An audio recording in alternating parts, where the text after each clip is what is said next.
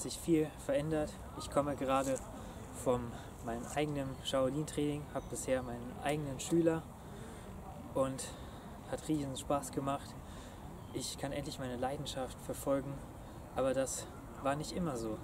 Ich war vorher angestellt und im Hamsterrad gefangen, habe auch neun Stunden von Montag bis Freitag gearbeitet und konnte nicht meine Träume verwirklichen, bis ich das Ganze verlassen habe und mich auf die Suche gegeben habe, darauf meine eigene Lebensmission zu erfüllen und mir Gedanken darüber gemacht habe, was ich im Leben, in meinem Leben positiv verändern möchte, was ich anderen mit auf den Weg geben möchte und was ich hinterlassen möchte, wenn ich diese Welt einmal verlasse.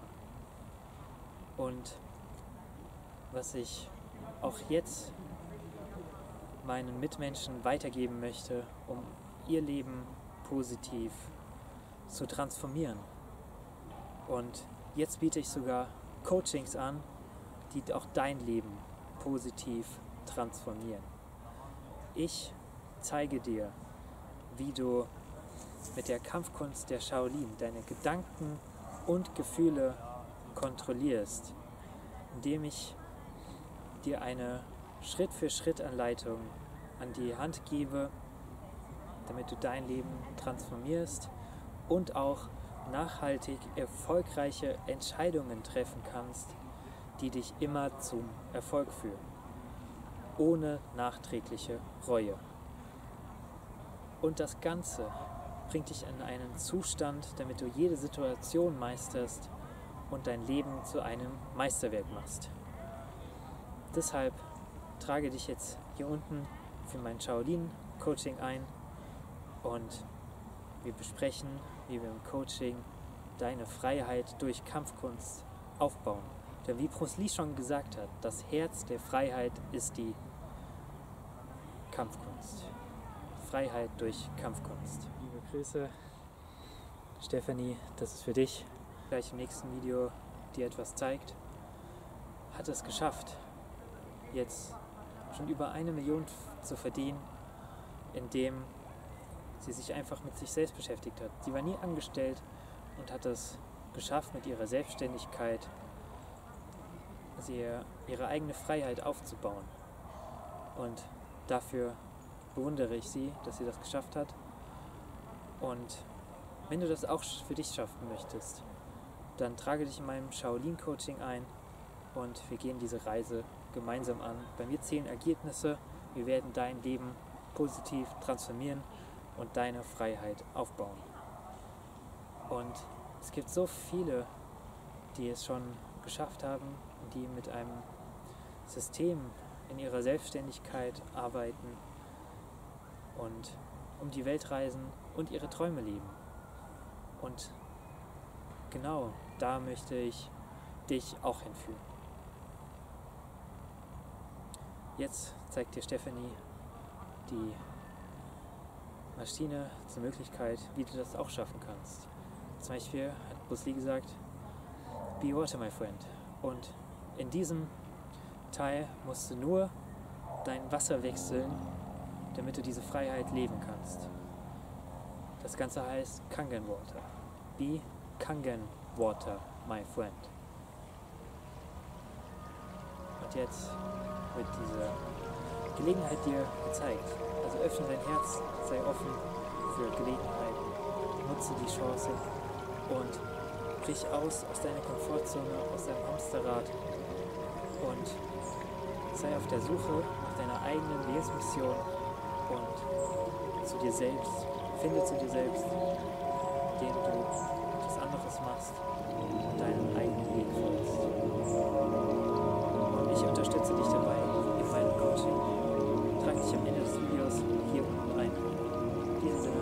Okay, hallo nochmal.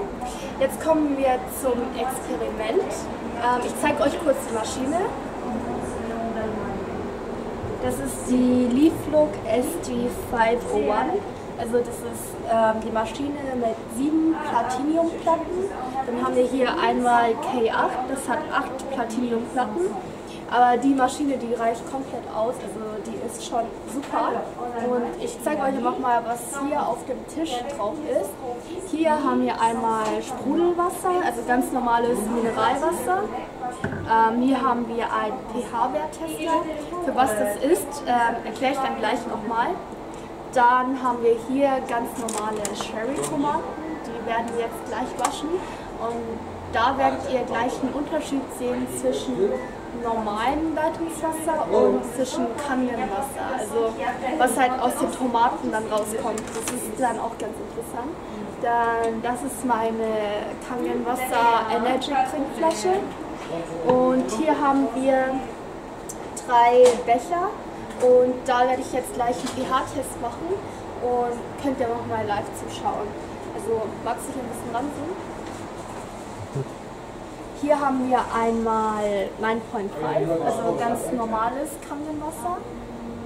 Also die Maschine schließt man hier ganz normal an und das Kangenwasser ähm, fließt dann einfach hier raus.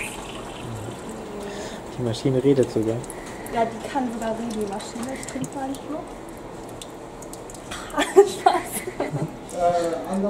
Wie fühlt sich das Wasser an? Wie schmeckt es? Ja, also ich muss sagen, als ich das zum aller, allerersten Mal getrunken habe, habe ich direkt einen Unterschied gemerkt. Also ich habe halt gemerkt, dass das Wasser direkt äh, in mein, wie soll man sagen, in mein Hirn geschossen ist. Also ich habe ein Mini, also, also es ist bei jedem unterschiedlich. Ich persönlich habe einen Unterschied gemerkt. Ich habe mich danach ein bisschen wacher gefühlt. Also ich bin zwar allgemein schon ziemlich aufgedreht, aber ich war danach noch mehr aufgedreht. So, dann haben wir jetzt ähm, einmal Leitungswasser hier. Füllen wir damit auf. Das mittlere ist Leitungswasser. Und hier machen wir oh, Vorsicht. Bisschen geschüttet worden. einmal Sprudelwasser hier rein. Das Wasser kriegt man äh, bei uns kostenlos auf der Arbeit. Und jetzt wird man gleich sehen, ähm, dass kostenlos nicht immer gut ist. So, ähm, ich weiß nicht, ob ihr wisst, wie die pH-Werte funktionieren, aber es ist auf jeden Fall so, wir Menschen haben einen pH-Wert von ungefähr 9,5. Wenn wir das halt trinken, ist es gut für unser Körper. Und das normale Wasser hat halt ist halt ziemlich übersäuert, also acidic. Und wenn man davon zu viel trinkt, gibt es halt gesundheitlich, es ist halt gesundheitlich nicht ganz gesund. Und ähm, ja, schaut euch ja mal den Unterschied an und wegen dem pH-Wert können wir nachher ja so eine, irgendwie eine Liste oder so einblenden. Also das ist ein pH-Werttester, das ist ganz normal orange. Fangen wir erstmal mit dem Leitungswasser an. Ähm, das ist so türkisblau, so leicht blau-grünlich. Du ein bisschen rangehen? Ich mach mal hier, dann sieht man die Farbe. So. Ja. Ist mehr grün, ja. Ja, grün-blau, das ist halt, ähm, blau ist neutral. Also es ist auch nicht wirklich gut für unser Körper, aber es ist auf jeden Fall nicht wirklich schädlich. Also Leitungswasser ist vom pH-Wert ganz okay, aber man weiß halt nicht, was für andere Stoffe da noch drin sind. Dann ähm, machen wir mit Kangenwasser weiter, welche Farbe das hat. Und hier sieht man einen erheblichen Unterschied.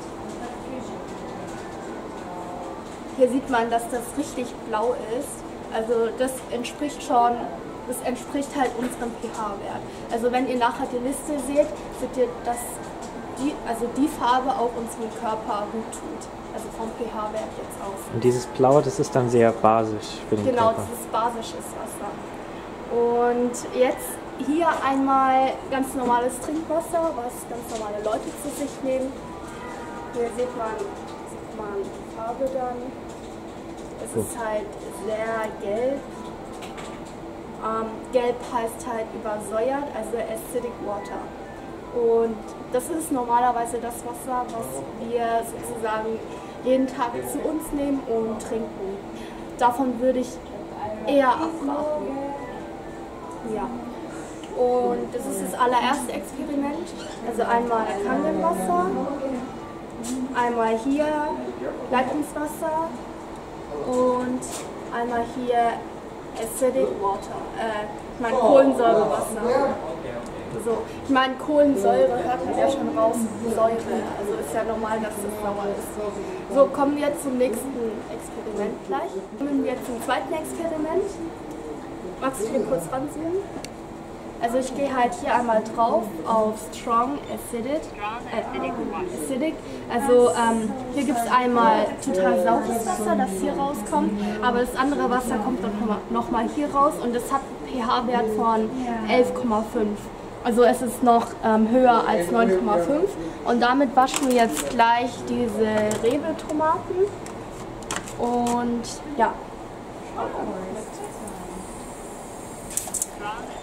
Okay, great. Thank you, Lee. Bye.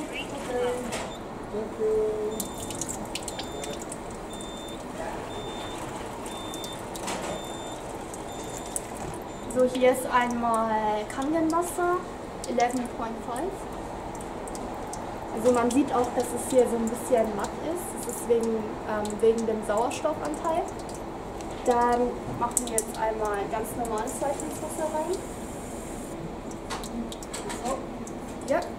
Und damit waschen wir jetzt die Tomaten. Also schaut dann einfach, was für ein Unterschied dann daraus kommt. Also ich mache die jetzt einfach da rein. Du kannst ein bisschen ranziehen. Mach hier 4, 5, 6, 7, 8. 8 Tomaten habe ich hier. Mach hier auch 8 rein. 2, 3, 4, 5,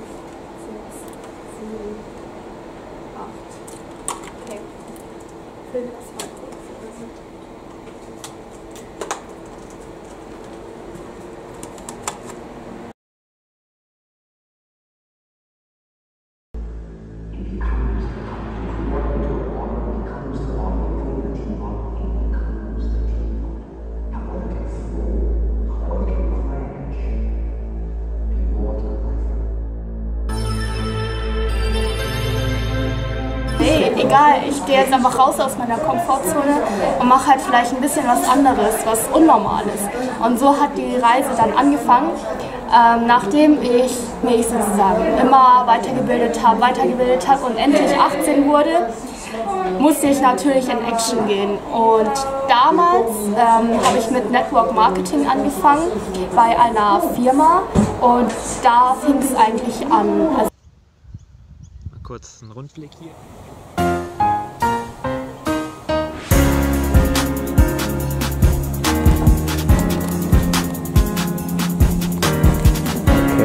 Ist Jan mit seinem Live-YouTube-Channel in Australien.